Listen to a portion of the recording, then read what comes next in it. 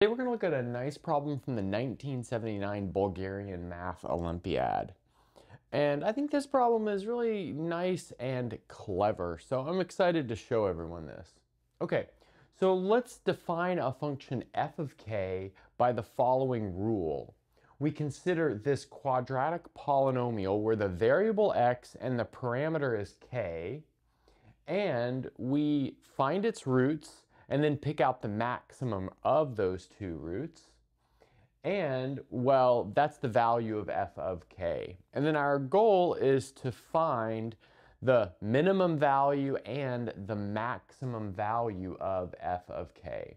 And let's just look at our quadratic polynomial here. It's k squared plus 1 times x squared plus 10k times x minus 6 times 9k squared plus 1.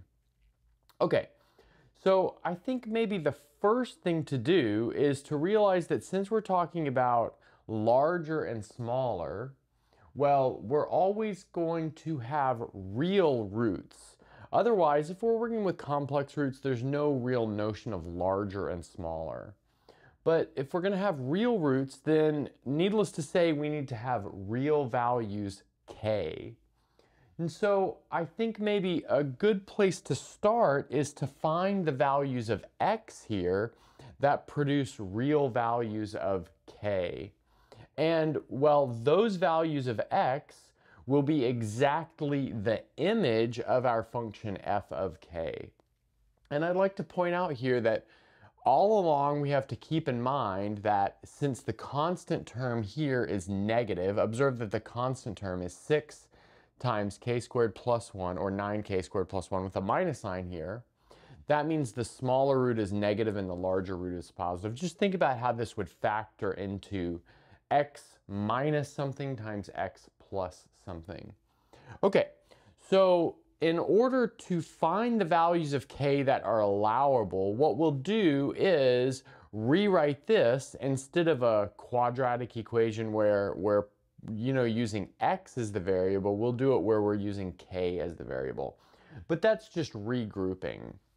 Okay, so let's do that. So like I said, we're going to regroup and, well, what will the coefficient of k squared be? Well, we'll have an x squared here, and we'll have a minus 54 here. So here we have x squared minus 54 times k squared. And then the coefficient of k is simply 10 times x, so we have plus 10 times x times k.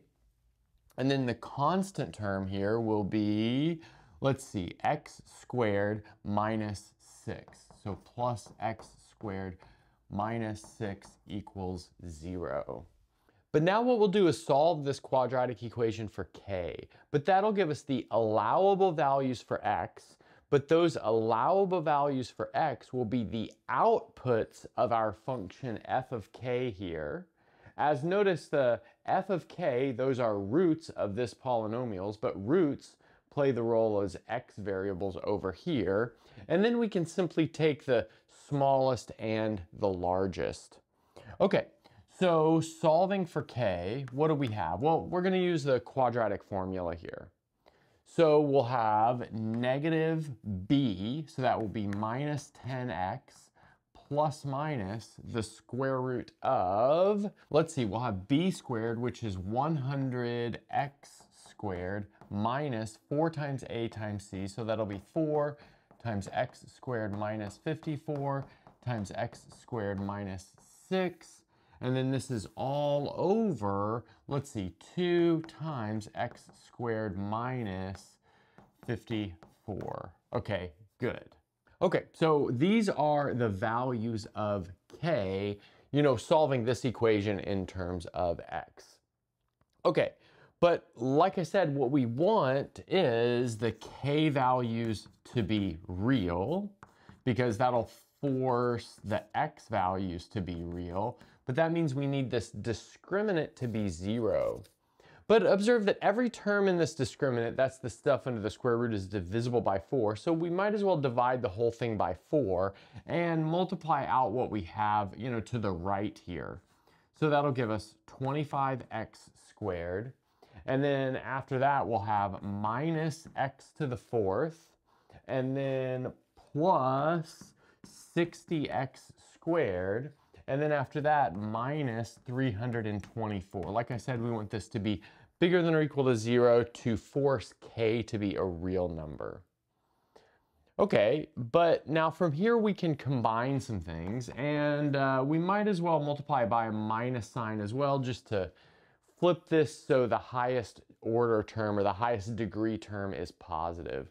So that'll leave us with something like this. We'll have x to the fourth minus 85 times x squared, and then plus 324 is less than or equal to zero. So that's the inequality that we're looking at now. But this actually factors kind of nicely, and it factors like this. x squared minus 81 times x squared minus 4, and like I said, we want that to be less than or equal to 0.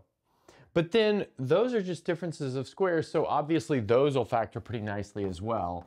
We have x minus 9, x plus 9, x minus 2, x plus 2, and like I said, we want that to be less than or equal to 0.